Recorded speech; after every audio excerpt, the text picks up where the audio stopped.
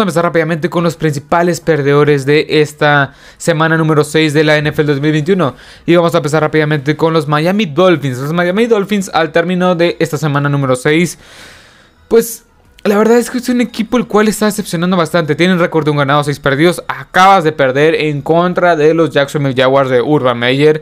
Y la verdad es que no se le ve ni pies ni cabeza a esta ofensiva. La defensiva sigue estando bien, sigue teniendo buenas piezas, sigue estando un buen nivel, pero creo que esta ofensiva es el principal talón de Aquiles. Nulo ataque terrestre. Este Malcolm Brown tuvo apenas 24 yardas. Salomon Ahmed muy apenas superó las 3.1 yardas cada vez que cargaba el balón. Mal Gaskins tuvo 5 carros para 9 yardas. Y en general, o sea, tú tienes una pésima, pero una pésima, pésima, pésima eh, ofensiva terrestre, junto con una ofensiva, una línea ofensiva también muy muy débil y que tuvo Aloha sigue lanzando pases cortos a Jalen Waddle, a Majisiki, que Majisiki tuvo un gran juego. La verdad es que este equipo de los Dolphins me está decepcionando bastante. Es un equipo el cual yo, yo pensé que podía, o sea, yo pensé que iba a tener, o sea, que iba a tener una gran temporada, que tuvo Aloha podía ser la respuesta y ahorita mismo ya lo están pues ya lo están linchando, por así decirlo, ya lo están crucificando, ya que este no está haciendo las cosas nada para nada bien. Bueno, al menos no es este Cuerva que te puede sacar los partidos. Ya lo demostró en este partido reciente contra los Jaguars. Bueno, vamos a este, a este juego. Tua Guadalupe jugó bien. O sea, tuvo 33 pases completos de 47 lanzados para 329 yardas, dos touchdowns, una intercepción. En general, esta ofensiva no luce bien. Mala línea ofensiva, ataque terrestre nulo. Tuaton Galúa pudiendo hacer lo que, o sea, lo que puede hacer. O sea, y una defensiva que en ciertas formas se va a caer a pedazos en algún punto de la temporada. Si no es que ya lo está haciendo. Así que este equipo de los Dolphins luce bastante mal. Un ganado, seis perdidos. Y acabas de perder en contra de los Jaguars.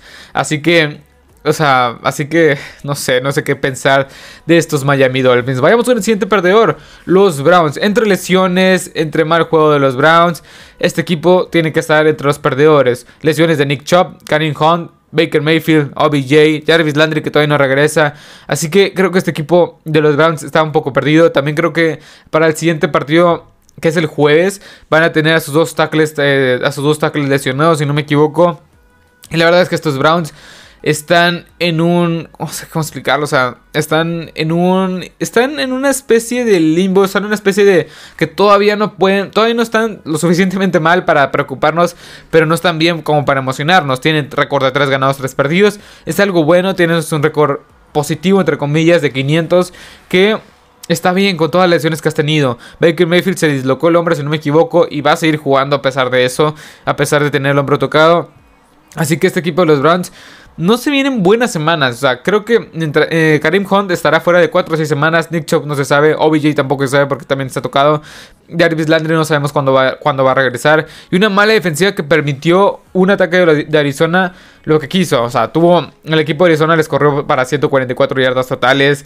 Y la verdad, Khalil Murray, o sea Khalil Murray lo que hizo con esta defensiva fue impresionante, cuatro touchdowns, eh, permitió en esta defensiva, como ya dije, este, tres receptores que superaron las, las 50 yardas, entre ellos Thunder Hopkins, Christian Kirk, AJ Green.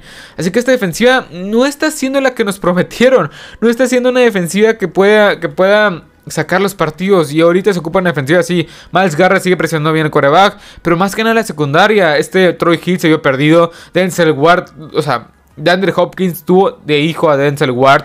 Y creo que este equipo de los Browns están, tienen muchos interrogantes a la defensiva. La ofensiva está bien. Creo que Kevin Stefanski se puede encargar de la ofensiva para ser una unidad operable. Tienes a Kissy Keenum en el caso que se llegara, que se llegara a ocupar. Porque Kissy Keenum sigue siendo un buen coreback todavía. Este, también tienes ahí pues a, Ernest Johnson y no sé qué otro corredor tengas para suplir las bajas de Nick Chubb y de Karim Hunt. Este equipo en cierta forma está en problemas, pero creo que la ofensiva va a estar bien, relativamente bien.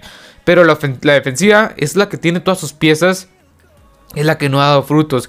Ya, ya te has permitido una cantidad de yardas inmensa. 500 yardas la, la, semana pasada en contra los Chargers y ahora te anotan cuatro veces y, permites una inmensa cantidad eh, una inmensa cantidad de yardas por tierra y por aire. Eso es algo de, que preocupar. Pero bueno vayamos con el siguiente perdedor de esta semana. Que son los Broncos de Denver. Los Broncos de Denver la verdad es que son la gran no sé si la gran mentira, pero es un equipo el cual o sea, no ha hecho las cosas para nada bien. Los Broncos de Denver, bueno, Teddy Bridgewater en esta, en esta semana no le fue para nada bien, estuvieron presionando muchísimo, permitieron 5 sacks este equipo de los Broncos de Denver.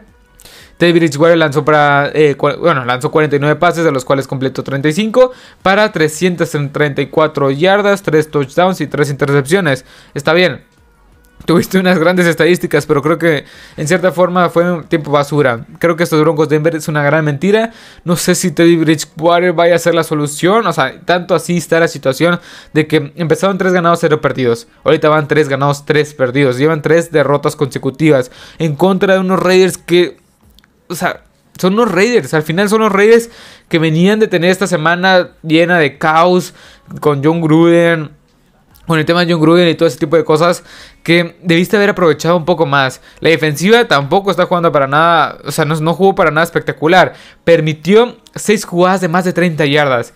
6 jugadas de más de 30 yardas, dos bombazos de Henry Rocks, o sea...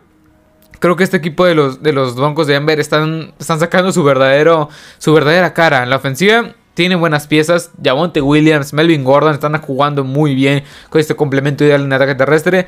Pero no sé, Big Fan yo retando jugadas que no tienen que retar. Estos Broncos de Denver no me, no me gustan. O sea, ya en serio, no es un equipo el cual le confiaría. Este, no, no, es un equipo el cual yo confiaría, perdón. Es un equipo el cual ya está todo viniendo para abajo poco a poco. Y no creo que se recuperen tan fácilmente. Tienen el talento suficiente para hacerlo, pero no sé si lo puedan hacer. Pero bueno, vayamos con el siguiente, que también otro equipo que es una clara mentira, por así decirlo, que son los Carolina Panthers. Estos Panthers que... A ver, ¿cómo explicarlo? O sea, empezaron tan bien y todo empezó con, eh, los Cowboys, después con los Eagles y ahorita mismo con los Vikings, que se fue a tiempo extra. Tú dirás, sí, lo pudieron remontar, pero creo que más que nada fue porque los Vikings este, se confiaron un poco. Yo como quiera apostaba que los Vikings iban a ganar este encuentro. O sea, este equipo, este, Sam Darnold está jugando mal. En serio está jugando mal. Mal. Tuvo un QB rating de 33.8. O sea, así, así se los dejo. Sam Darnold tuvo 17 pases completos de 41 para 207 yardas. Este, un touchdown, una intercepción, dos fumbles, dos fumbles y una intercepción. Tu quarterback, o sea, en serio, no sé qué esperar de ese equipo. O sea, no sé qué esperar de ese equipo. La, la, defensiva también. La defensiva es algo, es un punto muy crítico que quiero tocar.